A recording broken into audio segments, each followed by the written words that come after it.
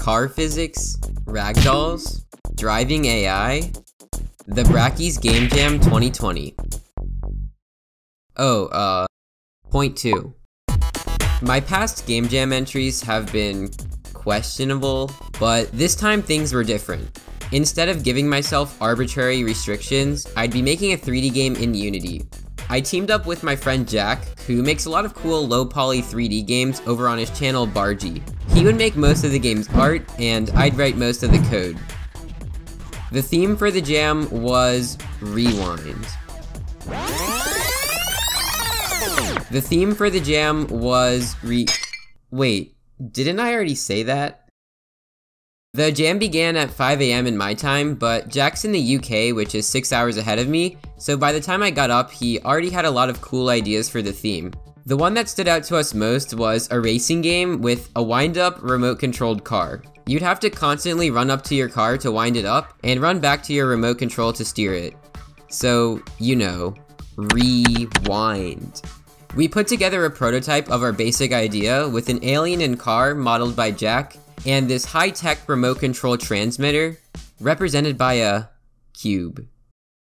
When you're near the car and press the left mouse button, you wind up the car, and after you release, it starts driving away. Then, when you go up to the controller and click, you switch your control to the car and steer it with the arrow keys. The way it works is pretty simple. When you're controlling the player within a certain range of the car and hold down the left mouse button, I start subtracting from a float, clamping it so that it doesn't extend further than your wind capacity. Then, when the left mouse button isn't being held down, I add to that float, clamping it so that it doesn't go above zero, and set the velocity of the car's rigid body to not just the float, but the float passed through a mathematical function. I was pretty bored while working on this whole system and wanted to do something interesting, so I decided to find a random curve online to plug the velocity into. I googled cool math curves and found this thing called a sigmoid curve. People who are actually good at math probably know what that is, but luckily all I really needed was my basic pre-calculus knowledge to tweak the curve and make a function for it in my code.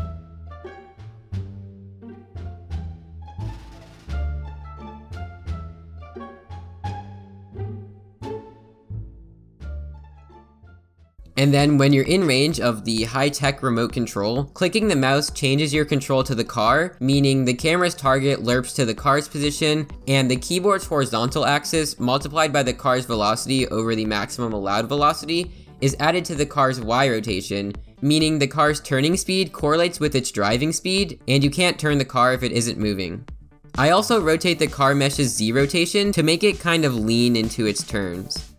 After telling Jack about the sigmoid curve, he said we should name the alien Sigmoid. Somehow that led to a very deep body of lore about two alien brothers named Sigmoid and Digmoid? Digmoid is absolute garbage.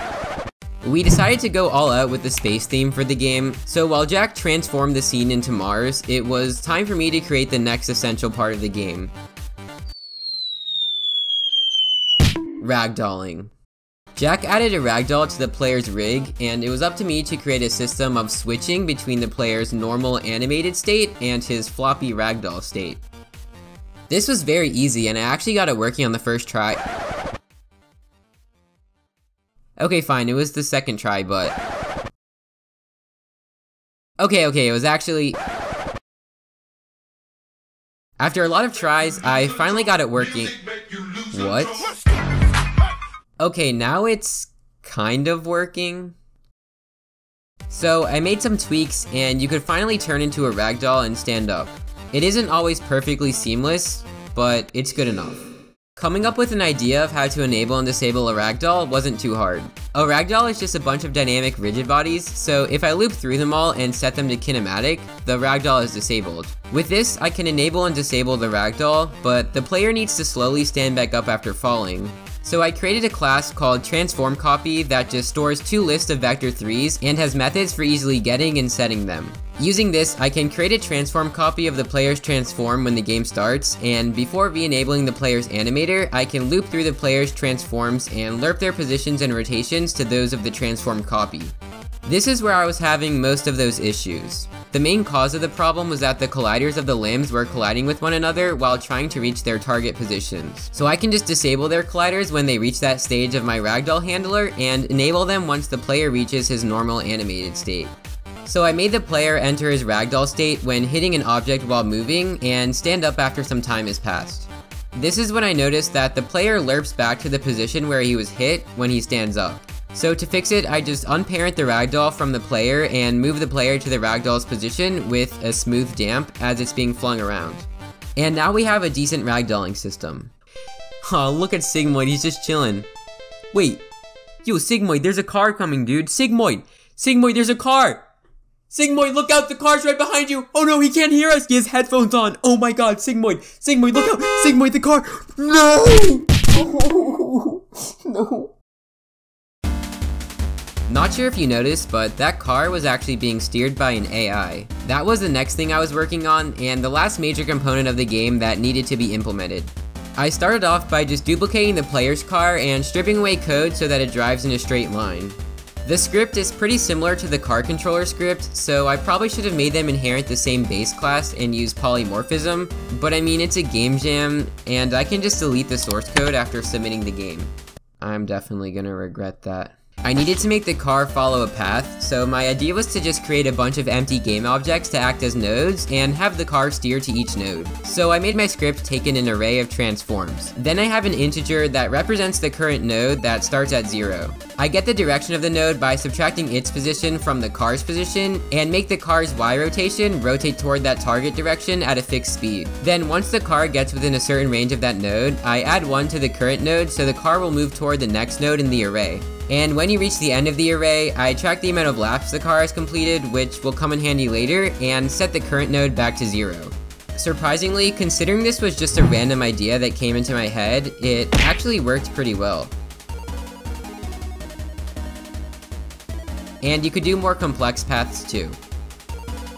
I decided to add an opposing force to the player's ragdoll when hitting something, and for the AI cars, I made this force, like, really big. After that, Jack had just finished the track, so I filled it with a lot of nodes to test out the driving AI. Alright, there's 22 nodes. Node there isn't. Something I struggled with was adding enough variation to the path following for it to work well with multiple cars. I ended up just settling for adding a random offset to each car's target position, randomizing the speeds of each car after they reach a node, then, so the cars wouldn't get too close to one another, I gave them these big sphere colliders and used Unity's collision matrix thing that Jack told me about to make the sphere colliders only affect other AI cars. I didn't really like the car AI, but I figured it was good enough to move on. I made some UI icons in GIMP. They're pretty much just squares with rounded corners and traced stock images. I made pop-ups for when you're in range of the car's crank or the remote control, which Jack made an epic model for by the way, and then I made a gauge to show how much, um, juice your car has. It was upside down the entire time, but eventually I realized and fixed that. That's when I realized it was almost 4 a.m. and I should probably go to bed. It was the last day of the jam and there was still a lot to do. The jam ended at 5am for me since Brackeys hates Americans, so I knew it was going to be a long day. The first thing I did was create a system for sorting the car's travel distances so I could display what place the player was in. I won't go into too much detail cause it's just some sorting methods and weird workarounds to compensate for my lack of polymorphism. So I made a method that sorts the list based on that and updates each car's placement accordingly. And whenever a car reaches a new node, I call that method. With that done, I had to get back to UI.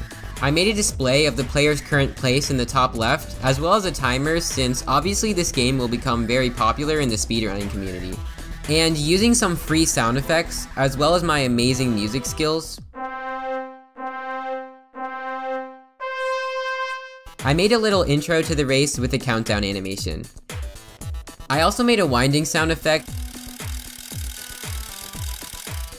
For the ragdoll, I downloaded a bunch of punching sound effects and play a random one when you jump, or when a ragdoll collides with anything. It even plays a sound when colliding with its own limbs, which wasn't intentional but actually worked pretty well. Then I made an end screen that displays once you finish 3 laps and shows your place and time. As you can see, we were also planning to add an online leaderboard, but we ran out of time. So I ended up displaying your best time instead. Jack had already made a pretty sick main menu with things like character customization and an about page, so we were pretty much done now. The game took a concerning amount of time to compile, but we managed to upload a web build half an hour before the deadline. For some reason, certain animations were broken and the main menu's audio was distorted. But at that point, I was way too tired to care. So yeah, that's the game. It's not perfect, but it's definitely better than my other stuff.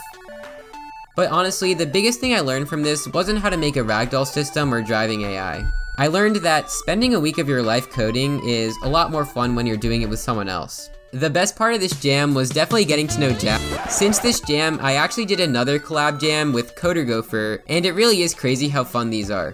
Make sure to check out Coder Gopher's channel for when he makes a video on that. And also make sure to subscribe to Barji of course, links will be in the description. That's all, so thanks so much for watching, follow me on Twitter, and see you in the next video.